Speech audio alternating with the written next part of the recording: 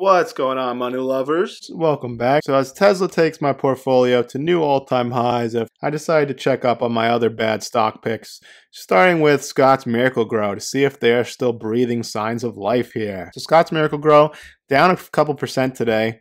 Might have to buy a couple more shares. I do really like this company. I mean, the cheaper the better. I mean, it was down. I think anything under 150 I like, but if it really, I would really start buying it heavy again if it did dip back below 140, I would say. I really like this company. Um, I've done multiple videos on it in the past, but just to give you the 30 second elevator pitch, I think what you get here is an excellent proven business model. You get that blue chip safety side with a lot of potential upside because they're expanding into the cannabis business. They acquired Hawthorne, so they're working on the soil and the growing end for cannabis, which I think could be very profitable for them. And if I was going to pick any cannabis play, it would be this company. Uh, they also pay a dividend yield. So this is a solid company, been around a long time. They've consistently increased their dividend for 12 straight years. So let's see what's going on. Scotts Miracle-Gro is a cheap cannabis stock with room to grow. I would agree with that statement. So let's take a look at what this article from Barron's has to say. So they're a dominant franchise in the consumer lawn and garden market, and it has a fast-growing hydroponics business catering mainly to the marijuana industry. Again, as I said earlier, very high quality business. I'm sure if you do any gardening or landscaping that you've used Scotts Miracle-Gro products, I know that I use them all the time. So it was a major beneficiary of the stay at home trend during the pandemic, which makes sense. And that's also why these stocks shot up so much. It got up as high as $250 and then it came back down to earth here. So that's why it's fallen um, over 40% since its April high. Investors are worried about lower consumer demand in 2022. Yes, because in 2022, everyone's just going to stop gardening and Scotts Miracle-Gro will be out of business and narrow profit margins. Yet the stock looks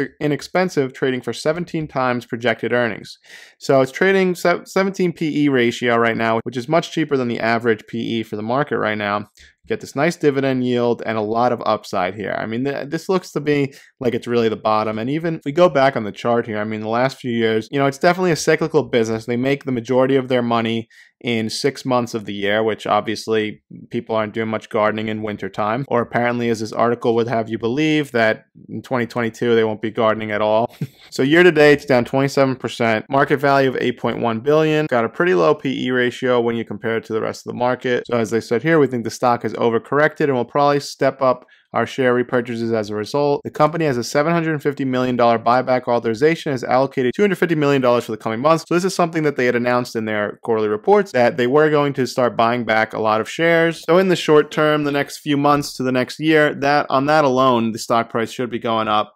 But I think that we have seen the bottom here. Again, I would I would buy some more shares in the 140s, and if it dropped below that, I would definitely buy it heavy. I think this is a great way to play the cannabis market while also giving you that quality blue chip business at the same time, stability. You get your 1.8% dividend yield, really the best of all worlds in my view. So if you enjoyed this video, please don't forget to like, subscribe, drop me a comment below. Let me know what your thoughts are on Scotts Miracle-Gro, and let me know what you want to see videos on in the future. This is Vinny from the Investment Club, and I'll see you next time.